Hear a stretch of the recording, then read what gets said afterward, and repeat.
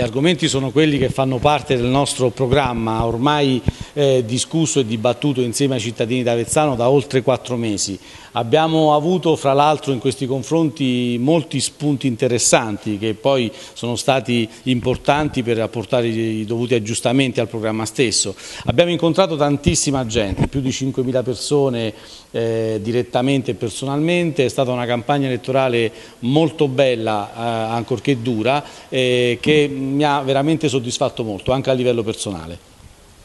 E, ehm, è convinto di un recupero?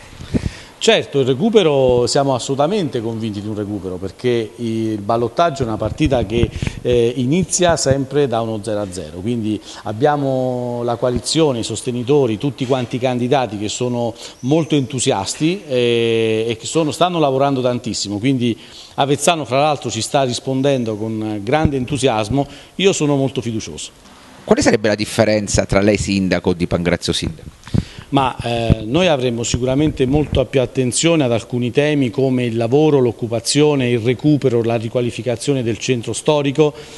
e eh, soprattutto una forte riduzione di spese inutili all'interno del Consiglio Comunale per poter riportare maggiori investimenti all'interno di questa città. Eh, noi da molti anni viaggiamo con un, eh, con un, importo riservato al piano delle opere non superiore a 1 milione e 100, 1 milione e 2, eh, mentre sprechiamo tanti altri soldi in staff eccessivamente costosi, convenzioni inutili come quelle dell'Arsa, le, le sale del Principe del Torlonia sottoscritta con la Regione che costa circa 180 mila euro l'anno, insomma c'è da riorganizzare il comune, farlo diventare meno polveroso e molto più vicino a un'azienda funzionante ed efficace. La famiglia di Pancrazio ormai sono 30 anni che fa politica, quindi eh, noi vogliamo portare in questa città eh, un'assoluta novità fatta da un candidato che eh, non si è mai impegnato in politica se non come tecnico e come amministratore e con una coalizione che ha prodotto poi un consiglio, eh, di, un consiglio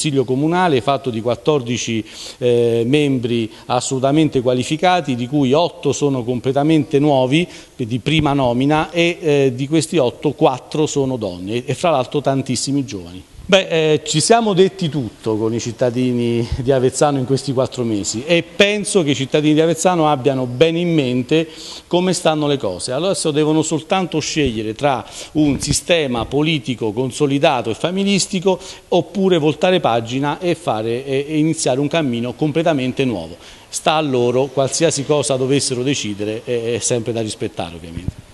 Ecco, altro tema importante però il ballottaggio, ecco, l'astensionismo, questo è un po' l'incognita che potrebbe avvantaggiare l'uno o l'altro dei competitor. Sì, eh, infatti è fondamentale che tutti vadano a votare. Eh, fate un sacrificio, l'ultimo sacrificio, manca un centimetro ancora per raggiungere almeno a noi il traguardo, eh, è importante, lo dobbiamo fare per la nostra città, per Avezzano, per il futuro dei nostri figli, eh, è importante che tutti quanti andiate a votare. Nessun apparentamento è stato portato a termine, però è chiaro che lei eh, si appella anche a chi nel primo turno ha votato eh, gli altri candidati sindaci che adesso sono usciti di scena.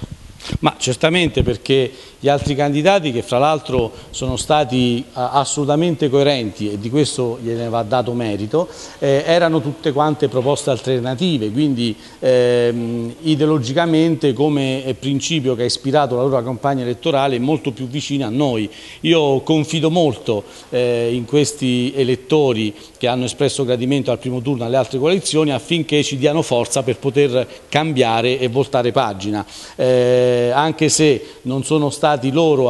questa, questa, non saranno loro a fare questa avventura, ma noi abbiamo recepito eh, parti importanti dei loro programmi, già dall'inizio c'è una condivisione larga su tanti punti. I del Movimento 5 Stelle ho visto che c'è stato un invito a votare scheda bianca, eh, io spero che eh, qualche loro elettore in coscienza dia una mano a noi per cambiare questa città.